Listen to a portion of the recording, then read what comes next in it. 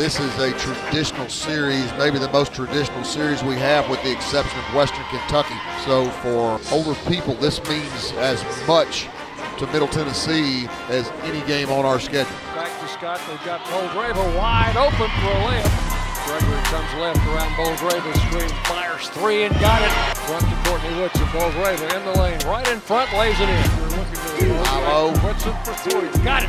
After Gregory for three, count that one. Coming down to Whitson, trailing Wheeler underneath Scott, turns, banks up, stole. The down screens on that one. Three in the air, Gregory got it. Boldyreva sets the screen, she drives, hooks up a runner, good.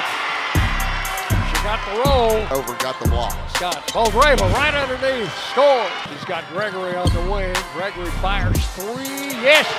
Back out to Savannah Wheeler. Up to Boldyreva, wide open for a layup. Anastasia just working unbelievably hard. Side to Gregory in the corner. Scott's open. Three is good. They switch on her. She spins.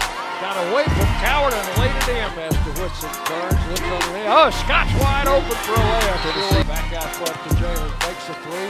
Got an 18-foot jumper wide open and hit on and run the final seconds off the clock. And the Raiders will have won this game by a score of 63 to 47.